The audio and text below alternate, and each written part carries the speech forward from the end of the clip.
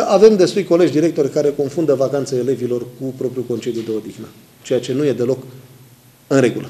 Timp de două luni, inspectorii școlari au evaluat activitatea directorilor școlari din Argeș. În funcție de modul cum și-au desfășurat activitatea, directorii vor primi calificative. Acolo unde calificativele vor fi altele decât foarte bine, pe respectivii colegi o să invităm la nivelul Consiliului de Administrație de mâine, pentru că metodologia ne obligă să le comunicăm faptul că, să le comunicăm personal faptul că n-au luat calificativul foarte bine, din ce motive și să le spunem în ce termen au dreptul să conteste și unde. În urma evaluărilor din teren, inspectorii școlari au constatat o serie de nereguli. Sunt directori care nu răspund în termen la adresele inspectoratului școlar, chiar dacă sunt solicitate la minister. Sunt directori care nu răspund niciodată la telefon. Sunt directori care nu vin la ședințele de instruire pentru examene.